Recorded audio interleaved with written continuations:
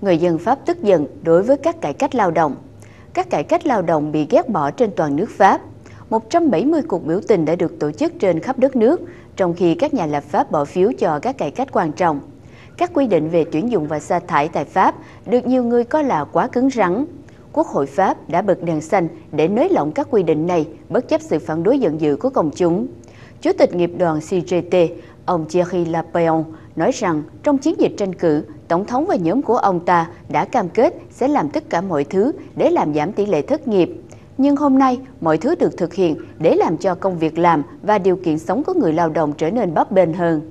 Nhưng có thể phải cần nhiều hơn là những cải cách lao động để giải quyết tình trạng bất ổn kinh tế của Pháp.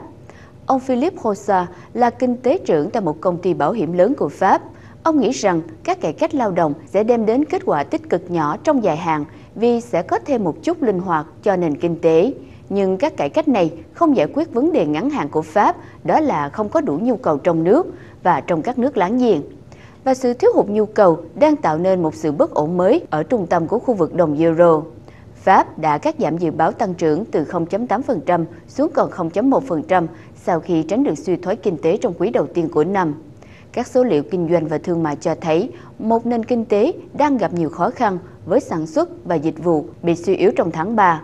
Pháp đã không làm đủ để khôi phục lại khả năng cạnh tranh của các công ty của mình. Phản ứng giận dữ của công chúng đối với các cải cách lao động và triển vọng kinh tế ảm đạm đã gây thiệt hại cho tỷ lệ ủng hộ đối với Tổng thống Hollande. Nhiều người nói rằng ông đã không giữ những hứa hẹn đã đưa ra khi tranh cử và các nguyên tắc chủ nghĩa xã hội. Nhưng ông Hollande khẳng định rằng các cải cách này rất là cần thiết để khôi phục nền kinh tế và làm giảm tỷ lệ thất nghiệp đang ở mức 10% và tạo tăng trưởng.